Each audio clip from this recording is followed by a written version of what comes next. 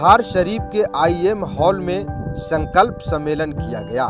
संकल्प सम्मेलन में बिहार के सभी सामाजिक दलों ने भाग लिया, जिसमें पैंसठ प्रतिशत आरक्षण को संविधान के नौवीं सूची में शामिल करने हेतु केंद्रीय स्तर पर जातीय जनगणना हो, कॉलेजियम से जजों को नियुक्ति बंद हो।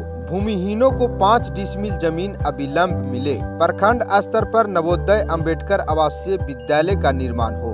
इन सभी मांगों को लेकर के बिहार शरीफ के आईएम हॉल में संकल्प सम्मेलन किया गया।